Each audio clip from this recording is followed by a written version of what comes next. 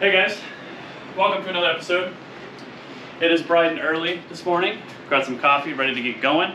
Today we are jumping on our wiper motor. Um, it does not want to work, um, so we're gonna do and jump into that and see what we can get figured out. Wiper motors often go out on these cars, so we're gonna dive into it and see what we can find. Just real quick before we jump in, if you guys do not know how to remove your wiper motor, I'm gonna show you really quick. All you have to do is pop the hood, lift this here, get it propped up, like that.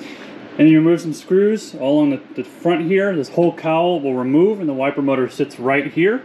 You just flip it upside down. There's three 10 millimeter bolts that detach it uh, from that point here and unplug it from the wires that are right underneath here.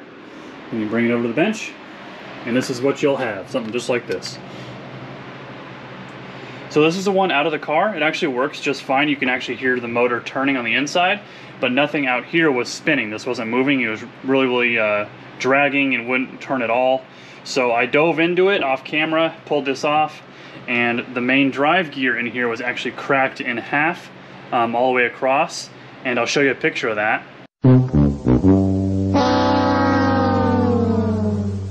So you can tell that it looked pretty bad. So all of this is all dirty and gross. So we need to clean this out.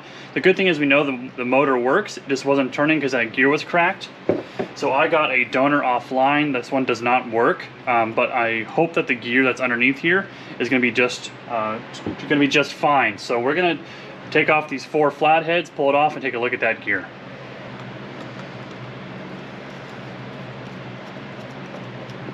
So this is what the drive gear actually looks like on the inside. This one does have some cracks on it, unfortunately, but it's not cracked all the way through like the other one. So what I think I may do is just uh, try and melt that plastic together. We'll pop it out, clean up our old one, get all that gunk out of there, that old grease, and we will pop this one out and we'll get our soldering iron kind of melt that plastic back together to stop the cracks. And we'll get this one plugged into here. We'll plug it in and see if it'll work. A few moments later. So I'm having a heck of a time getting this gear out of here, and the more I mess with it, the more I can tell I'm kind of cracking it, and that's the last thing I want to do. Um, I did plug it into the car with all the appropriate connectors, and it wouldn't spin, um, but this one does. My original one does. Um, it's definitely a little cleaner um, than the, the donor one, but what I think I'm going to do is just to try and save that gear, is uh, change out the whole back end here. There's only some flathead screws that hold it on, and I'll pull the whole thing all the way through. My only concern is these two wires coming out. I'm gonna have to uh, like desolder them to get them to come through. But uh, that gear is just on there. There's a textured stud in here that's got grooves in it and it's just, it's on there. Um, even when I had this broken one in here, I had to basically break it in half to get it out and that's the last thing I wanna do on our donor one. So let's try it with getting this whole back end out and see if we can just swap it over and see if that'll fix our problem. We took our cowl off and we're just going to reconnect um, our motor here, red to red. The previous owner was actually really nice and labeled these correctly with the red tape to red, the gray and black to gray and black, and then the white tape was to the white connector. It actually saves me a lot of time. But you can also just trace the wires gray to gray, blue to blue, and so on and so forth. And we're gonna see if we can get this right here to turn. So I'm gonna turn the key on and see if we can get that to work.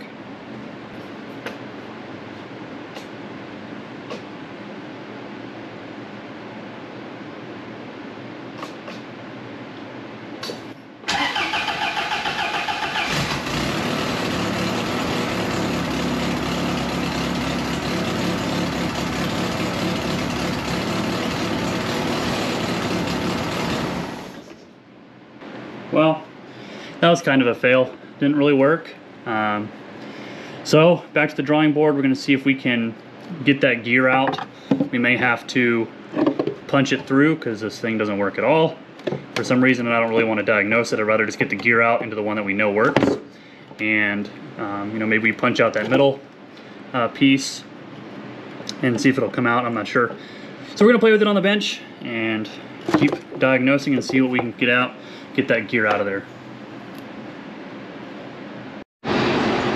Good news, we were able to get the shaft out of the gear after soaking it in our ultrasonic cleaner several dozen times, PB blaster, all that good stuff to get it out.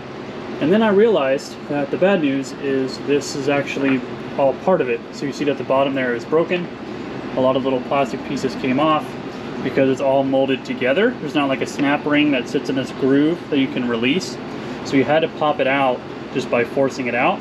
So what we're gonna do is we're gonna take our soldering iron and start uh, soldering up some of these cracks. You can see some here, along this cam lobe here, here.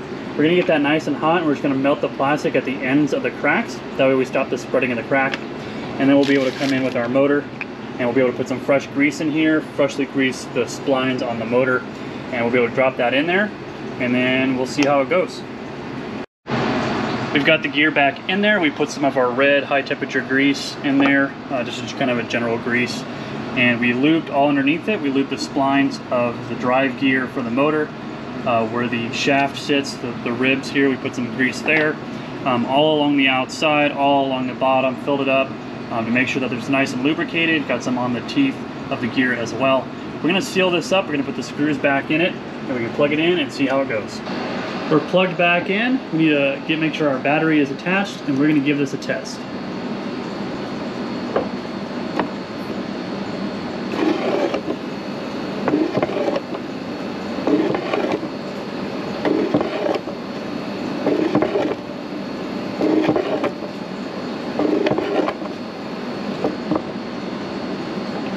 Would you look at that?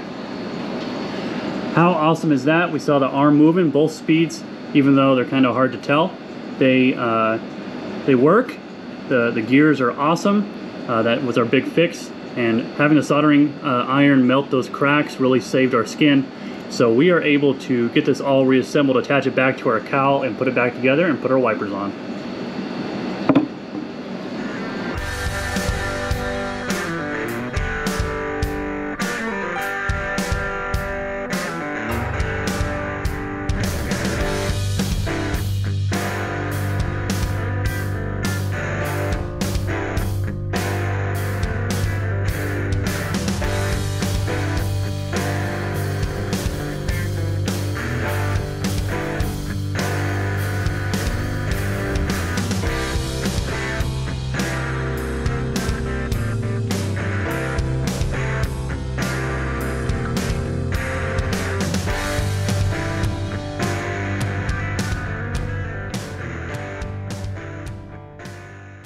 Now it's time for the real test. I don't have the wipers on. I don't have actual wiper blades, so I don't want to scratch the window with the metal arm. I do have them, they're in the trunk, but uh, we're gonna see if these rotate. Um, I lubricated everything before we did reassembly. You saw it was pretty easy, just had to kind of finagle that uh, motor in there and get everything lined up and tightened up just right. Got all screws down. Let's see how we did. Power is on. Hey, there we go. That's slow. And that's supposed to be fast, but I didn't really see much of a change. So, maybe up next, our biggest upgrade will be probably a wiper relay. Um, I think that'll really help us out um, with the wiper speed. I do have the kit. It's on a shelf back here somewhere. I do have the kit, so maybe we'll do that in the future. If you want to see that video, let me know. We'll do a wiper relay video. Um, a really easy setup just to make these faster and more practical. Of course, we hope to never get caught in the rain in this thing, but better safe than sorry. Alright guys, that's going to be it for this episode. It was actually a really straightforward process. Just had to get that gear out. Lesson learned that they're just kind of attached to that shaft, um, and you have to break it um, just a little bit to get it off. Um, there are aftermarket gears that you can get to replace that, uh, but I had that donor one, so it's worth trying to see what we can work with first before we spend the money to get a new one. Um, we did solder those the plastic together to make sure that those cracks don't spread, so we'll see how long that'll last for us. Um, you know, if it ends up giving out down the road, um, we'll just have to replace it. But for now it works. We can pass inspection with good working wipers. We lubricated everything just fine. Really easy process. We had good power. We knew the motor worked. We could hear it spinning over, but that gear was just shot. So replacing that gear was the way to go. Um, really straightforward. Real simple, quick video for you guys. I appreciate you watching. Make sure you like, comment, and subscribe. It really does help me out. It helps out the channel. We still do have some merch available. We still got some shirts for 15 bucks and drink sleeves for five. If you want one of those, just send me an email at garagetimetv at gmail.com and we'll get you hooked up, get one back to your house so you can start rocking it like I do. So thank you guys so much, and until next time, we'll see you.